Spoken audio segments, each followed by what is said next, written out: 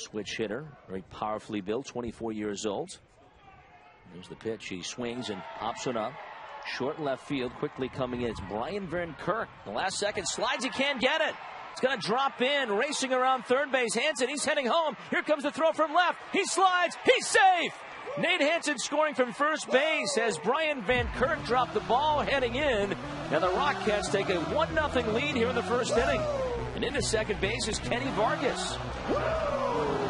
Well, the wind obviously playing fits with Brian Van Kirk, and it's blowing viciously in from left center field.